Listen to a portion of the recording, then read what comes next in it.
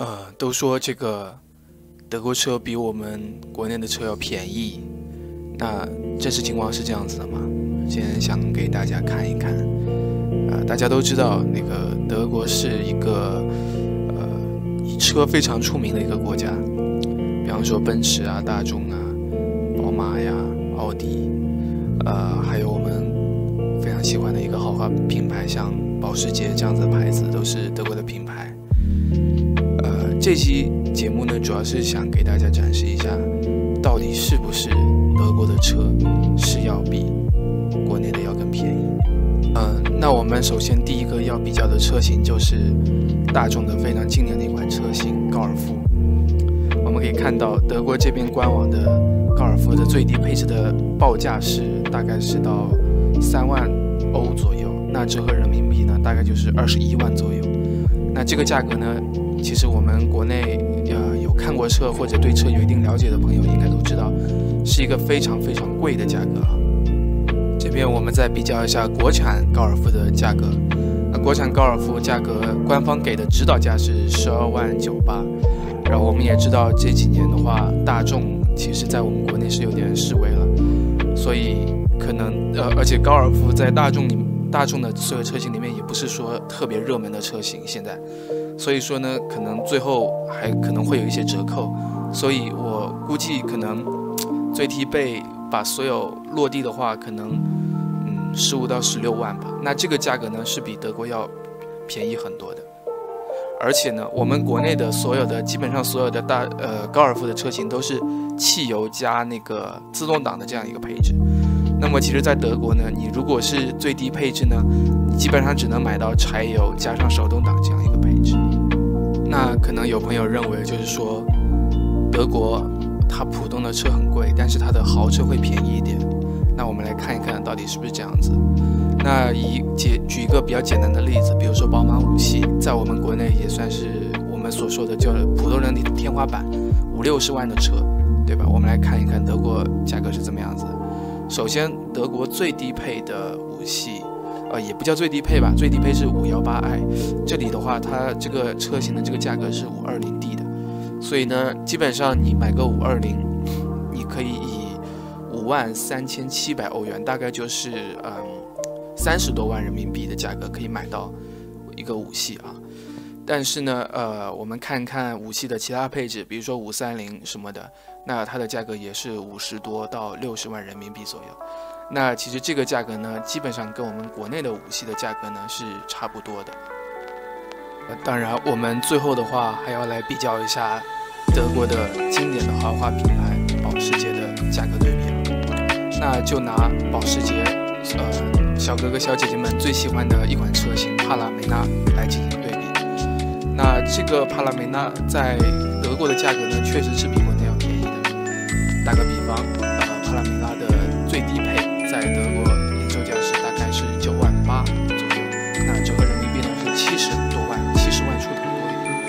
那我们国内的帕拉梅拉的那个最低配呢，可能也要去到九十多万，接近一百万的价格。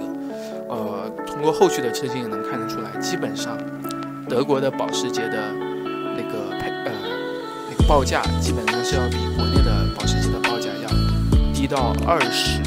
万甚至会更多去。当然了，德国人是一个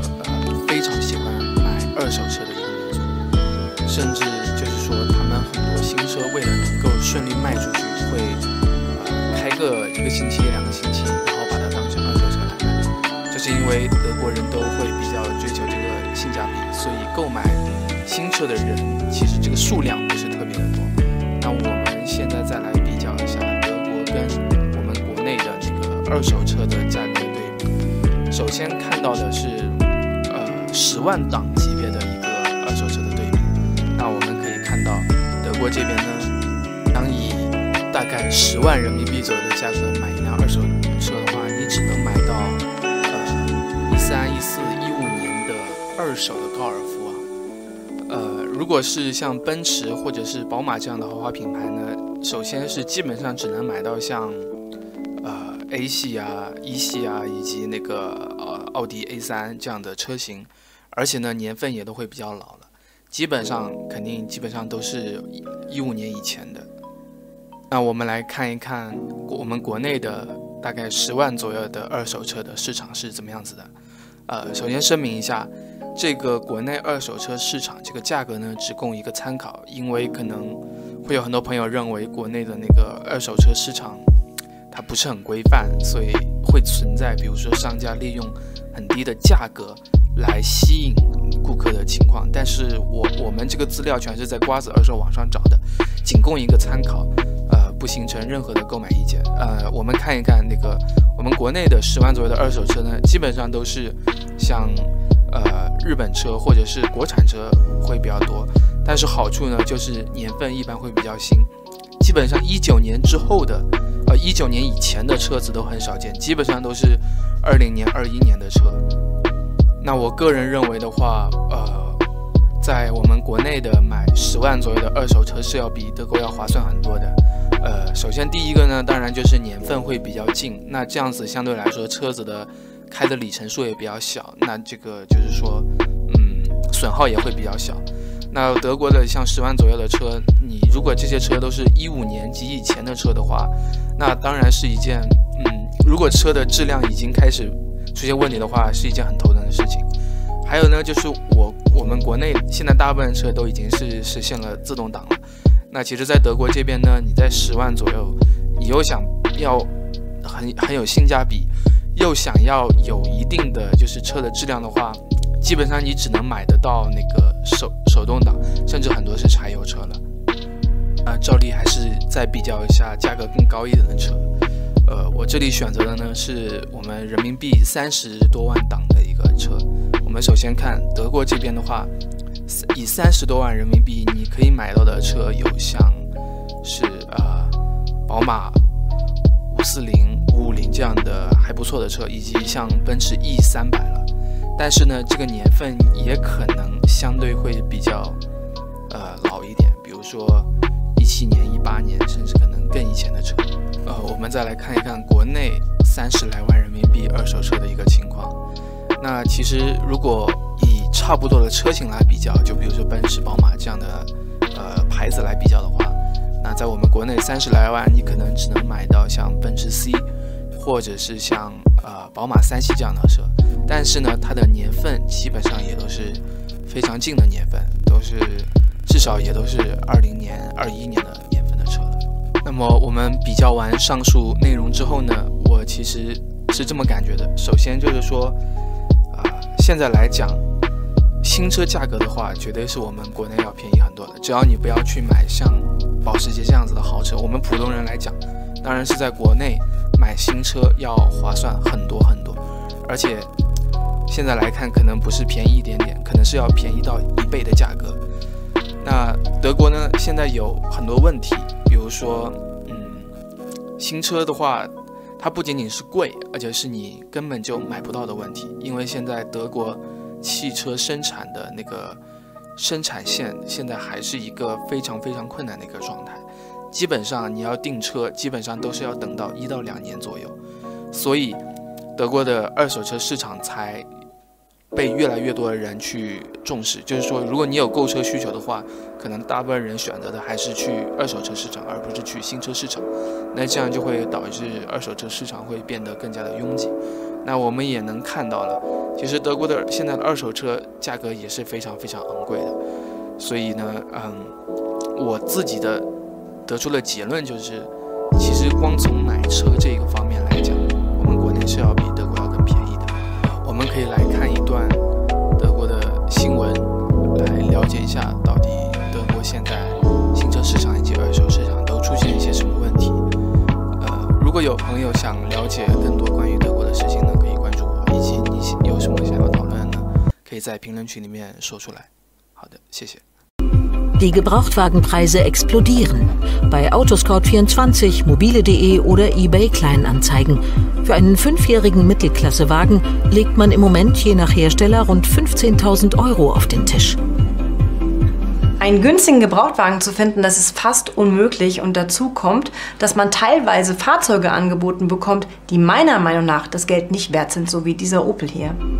Wer jetzt dringend ein Fahrzeug braucht, der hat ein großes Problem. Neuwagen haben lange Lieferzeiten, aber einen Gebrauchtwagen zu finden ist nicht viel einfacher. Martin Entlein von der DAT, der deutschen Automobiltreuhand, die seit 90 Jahren den Gebrauchtwagenmarkt beobachtet, erklärt den Preisanstieg. Der Neuwagenmarkt hat einen direkten Einfluss auf den Gebrauchtwagenmarkt. Das lag auch daran, dass ähm, teilweise sehr viele Chips äh, gefehlt haben, um die Fahrzeuge fertig zu bauen.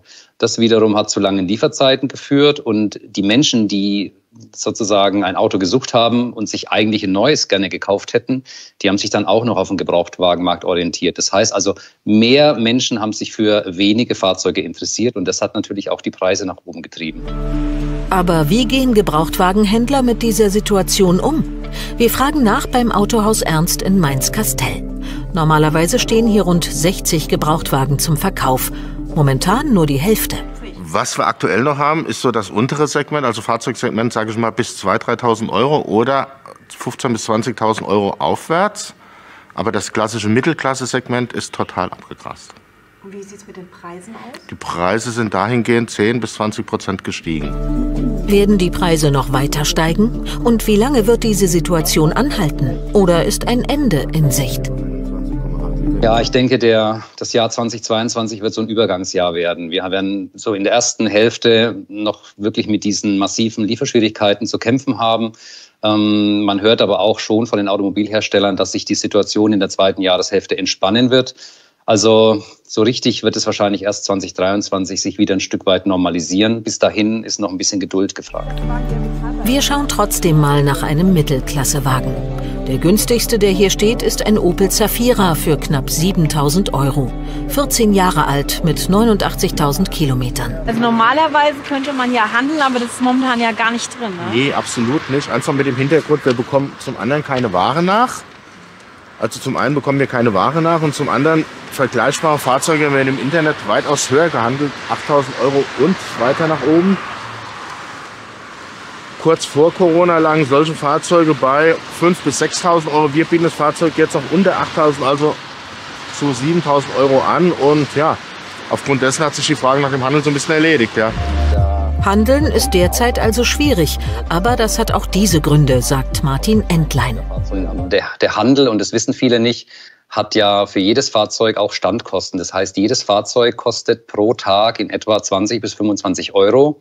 Die Autos sind ja meistens finanziert, die müssen beworben werden, die müssen gewartet, gereinigt werden etc. Also das heißt, jeder Autohändler, der Fahrzeuge in seinem Bestand hat, der muss diese Fahrzeuge auch bezahlen. Und ähm, da sind natürlich die Händler dann sehr dankbar, wenn ähm, kaum Nachlässe gegeben werden und wenn die Händler auch erstmal Geld damit verdienen können.